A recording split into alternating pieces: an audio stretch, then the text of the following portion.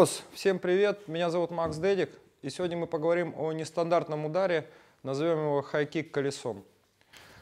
Он хорош тем, что может использоваться людьми без особых физических знаний, он очень неожиданный, и я думаю, что его вполне можно применить в поединке по любым правилам. Для того, чтобы качественно выполнить эту технику, нам нужно будет немножечко размяться. Первое упражнение называется сумо.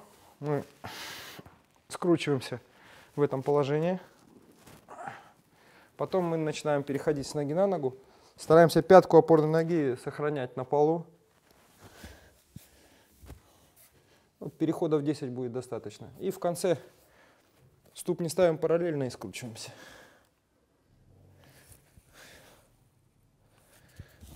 Все, мы в принципе готовы. Теперь специальная разминка. Самое простое акробатическое упражнение колесо, известное нам с детства.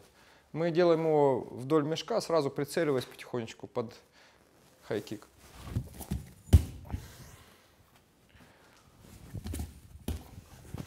Я потихоньку уже намечаю цель.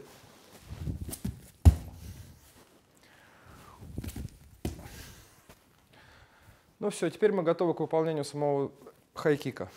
Для чего мы делали колесо? Чтобы почувствовать связь руки и ноги. Итак, мы наносим удар по большому кругу. Его э, особенность – неожиданная траектория.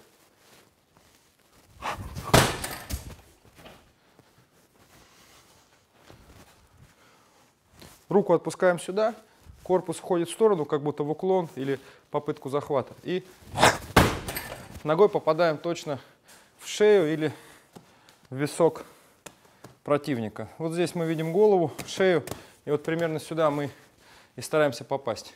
Чем точнее, тем лучше. Самое главное здесь ключ это рука. Рука идет вниз и мы попадаем в голову.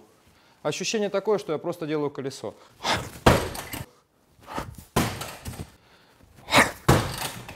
Великолепным средством тренировки хайкика на самом деле является тренировка а, с поясом. Его можно держать, можно повесить, как это делаем мы. Тренировка с поясом позволяет отработать э, пронос вот этот тот момент, который срезает именно непосредственно голову при попадании. Вот. Так как это очень легкая цель, он не искажает технику, в отличие от мяча. На самом деле в этом ударе очень важно просто отпустить ногу расслабленную. Ее, по сути, можно не напрягать. Она падает, и своим весом этого веса вполне достаточно, потому что он связан с весом всего тела. Если вы заметили, я сильно кладу корпус.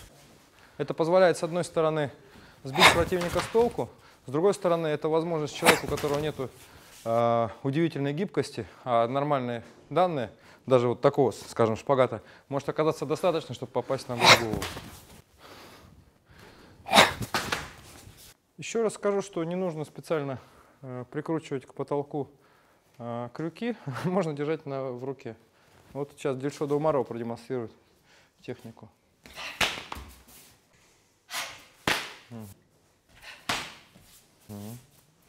А сейчас рассмотрим э, некоторые варианты применения этой техники в бою.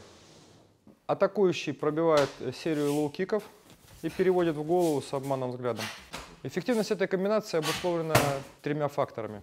Первое, как мы уже говорили, это неожиданная, нестандартная траектория хайкик, содержащая в себе элемент микропаузы.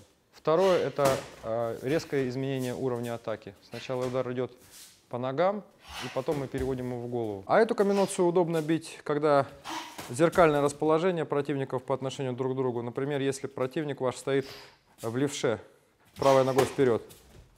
А, тут вся фишка в том, что удар наносится, опять же, с понижением уровня в корпус на выпаде, а второй удар идет в голову. Во время первого удара и во время второго удара очень важно сместиться с выпадом. Примерно к стопе противника. Тогда получается отличная дистанция для поражения цели. Класс. А еще добавлю, что этот удар очень э, может быть эффективным на фоне усталости. В тот момент, когда у противника опускаются руки, он думает только о том, что нужно идти вперед, и в этот момент он не в состоянии адекватно среагировать на неожиданную траекторию удара.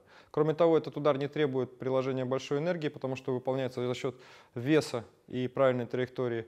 И еще хочу сказать, что он доступен всем, потому что не требует особой подвижности сустава или растяжки. Подписывайтесь на канал Blood Свет, развивайтесь, тренируйтесь, побеждайте.